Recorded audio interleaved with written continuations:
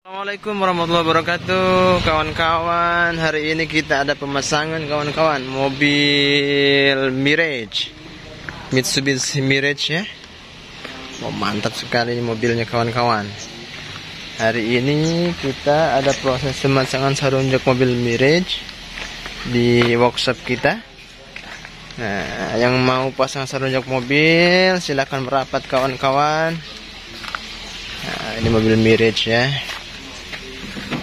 Jadi kursinya masih one pabrik masih orisinil masih original. Nah ini kursi mirage. Ya. Jadi mau kita kasih cover joknya di coverin ini yang bagian headrestnya masih nyambung ya kawan-kawan ya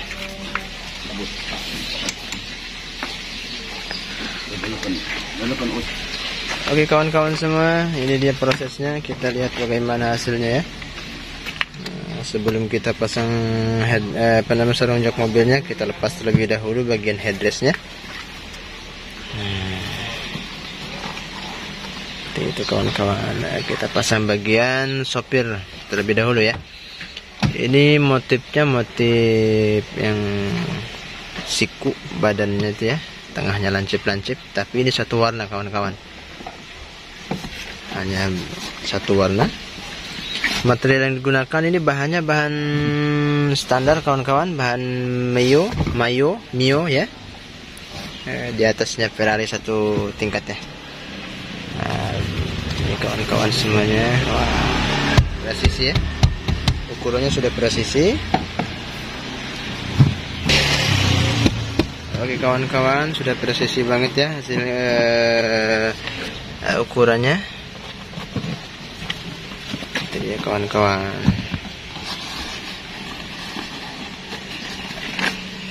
Ini hanya di covernya kawan-kawan ya. Hanya menggunakan ikatan tali biasa. Kita menggunakan jahitannya double stick kawan-kawan. Double stick jahitannya sangat rapi sekali.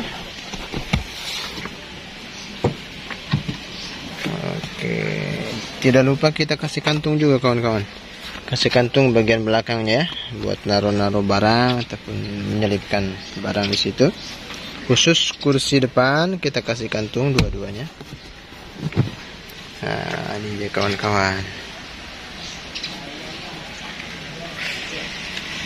simple ya pemasangan sarung jok mobil. Tidak perlu dibongkar atau turunkan kursinya. Langsung kita pasang di mobilnya kawan-kawan karena ini hanya disarung ya di cover saja. Tidak merusak ori. Khusus kursi depan tidak harus diturunkan kawan-kawan ya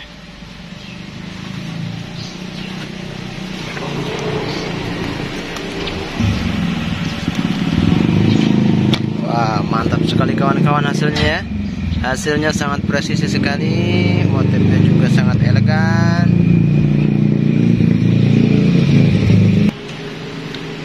Ini dia ya sudah terpasang rapi ya bagian sandarannya. Kita lanjut nanti ke bagian dudukannya kawan-kawan. Ini khusus uh, untuk mobil Mirage ada naik turunkan kursi dan ini kita lepas dulu kawan-kawan. Ini dilepas dari kancingannya dalam ada sepinya di dalam itu biar pasangnya rapi. Nah cara lepas eh, kancingannya pakai obeng aja kawan-kawan. Atau ada kawat kecil di dalamnya kancingannya ya.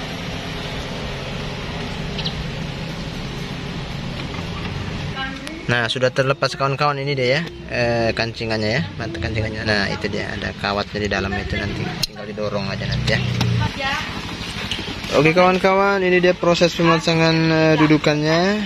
Untuk dudukan kursi sopir ya. Motifnya sama dengan yang sandaran kita buatkan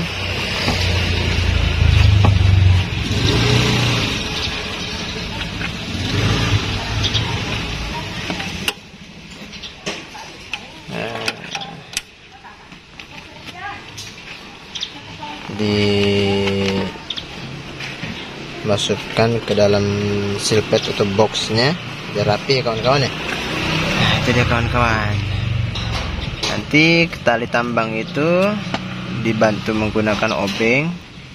Ada dimasuk uh, ada selah-selahnya di situ ya. Nah lewat situ aja kawan-kawan. Biar ke bawah. Tinggal narik dari bagian bawah ya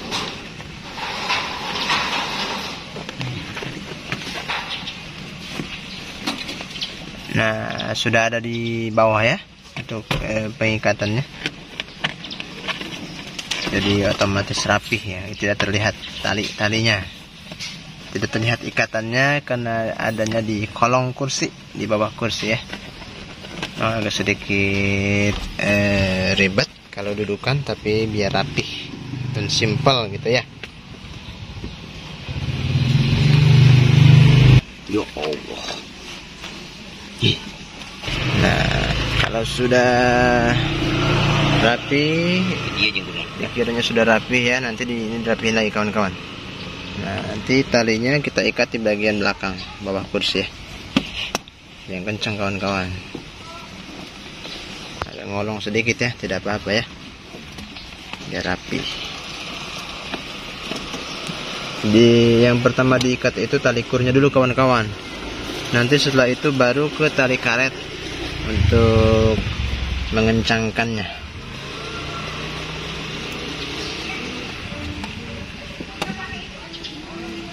Nah, double stick ya double stick ya. Kita double stick nih kawan-kawan. Pinggirannya. Kalau sudah diikat kencang tadi tali kurnya tinggal sekarang tali karetnya. Tali karet eh, tali karetnya itu diikatnya ke di kolong kawan-kawan. Di bawah kursi ya. Biar rapi kawan-kawan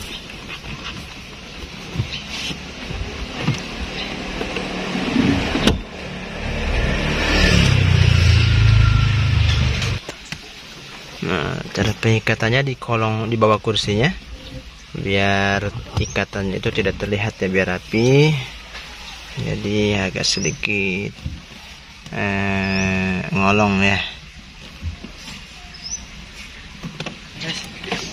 Nah, untuk yang tadi yang untuk naik turunkan kursi kita lubangin secara manual kawan-kawan.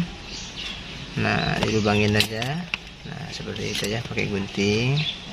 Jangan khawatir itu tidak akan melebar ya.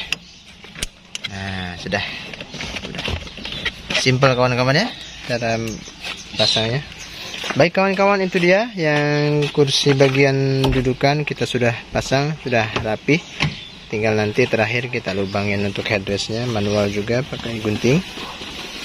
Oke untuk sebelahnya kita persingkat karena eh, prosesnya sama dengan yang sopir cara pemasangan juga sama. Tidak ada yang beda ya. Nanti kita lanjut ke kursi bagian belakang saja kawan-kawan. Kawan ini dia pemasangan yang dudukan belakang ya. Kursi belakang kita cabut kita bongkar kita turunin ya. Karena diikatnya di bawah kursi jadi kita harus bongkar terlebih dahulu biar rapi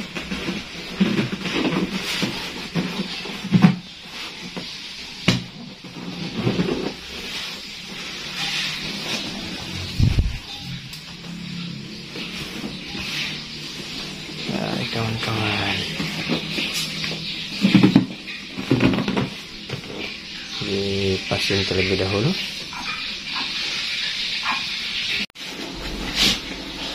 Dipasin terlebih dahulu ya kawan-kawan. Biar pas biar rapi biar presisi baru nanti diikat. Polanya udah sangat-sangat presisi ya sesuai dengan ukuran mobilnya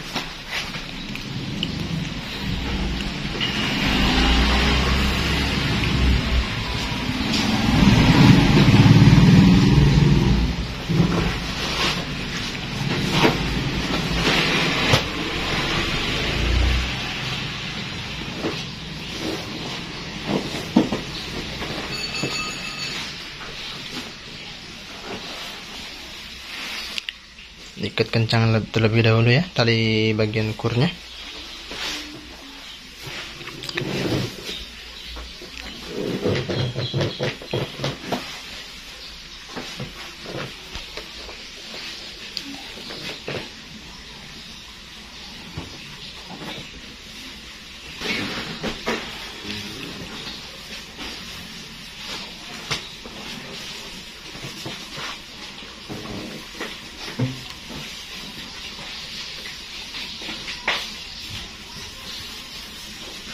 guys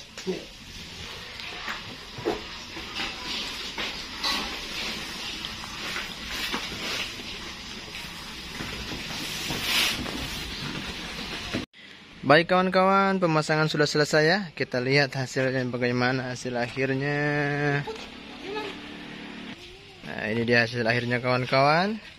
Wah, sangat-sangat presisi ya. Headrestnya sudah terpasang. Nah, ini pemasangannya seperti paten kawan-kawan ya. Padahal ini hanya sarung jok kawan-kawan. Oke, ini kursi bagian belakangnya. Oke, ini kursi bagian belakangnya kawan-kawan sudah mantap ya, sudah terpasang rapi. Baik kawan-kawan, eh, itu saja pemasangan kita hari ini. Eh, sekali lagi kawan-kawan yang mau pasang sarung jok mobil bisa merapat ke workshop kami.